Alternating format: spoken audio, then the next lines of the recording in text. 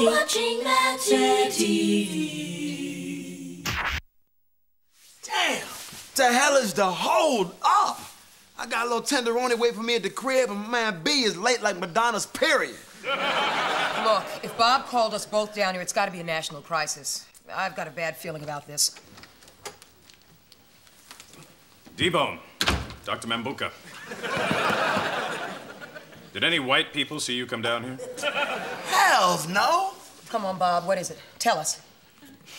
Our nightmare continues. Last night, one of my operatives in Greenwich, Connecticut heard a debutante say, That's the bomb. Oh, my God. Damn!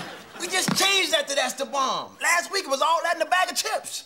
I told you someone is leaking information. White America is co-opting our slang faster than ever. What do you expect? We got Ricki Lake on twice a day now. I know, yo, man. It's much harder to get my rap on without them knowing what I'm saying. You know what I'm saying? Well, that's what we're here for, people.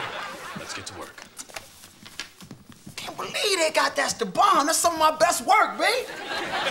All right. In 1960, we introduced Groovy. Then it was stolen by Simon and Garfunkel. So we replaced it with I Can Dig It. I Can Dig It became out of sight. Out of sight became solid. Solid became cool. Cool became raw. Raw became cool again. Cool became fresh. Fresh became def. Def became fly. Fly became cool again. Cool became dope. Dope became fat. Fat got cool for a week. Cool got chill for a minute. Chill became all that. All that became all that in a bag of chips. And that's how we arrived at the ball. It's like butter, baby. Nah, nah, negatory. Negatory. Dope did not come before fat. Tight came before fat. Your ass always forget tight.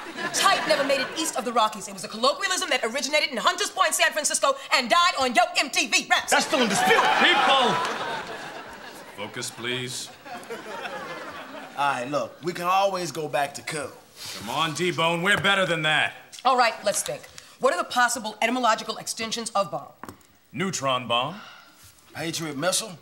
Sidewinder. Uh, Scud. How about that's the scud? Don't nobody know what a scud is. That's stupid. You mean stupid good or stupid bad? Stupid bad. Wait, bad isn't fat bad or bad bad? Bad, bad. Now listen, listen. Baby, you the scud. Brother get slapped for saying something like that. That is weak. Weak as in trifling. Sorry to the curb. Chump change. No major pub. Scrub. Bryant Gumbel. All right, then think big. Think big bomb. Vampire in Brooklyn. Uh, no, no, no, no, no. The bomb, as in you're blowing up, you're exploding. World Trade Center. No, no, no, no. As in disaster, mass killings, destruction, bloodbath, bodies everywhere. Ebola. Girl, your shoes are Ebola. Yeah, Club Paradise was the Ebola last night. What? Not the Ebola, Ebola. You're right, my bad. Like, did you see the new receptionist? Her booty's Ebola. Agreed. We'll wire Ebola to our best operatives immediately. All right, I'll contact KRS-One Dr. Dre, and uh, Ice Cube. Actually, before we go, I feel I should once again bring up the subject of funky.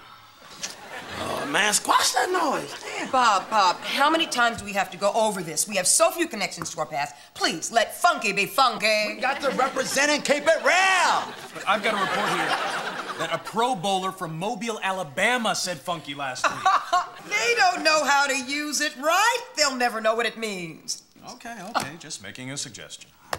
Very good work, people. Ah, that was better than good. That was Ebola. I'm gonna Ebola booty. I'll see y'all later. I know.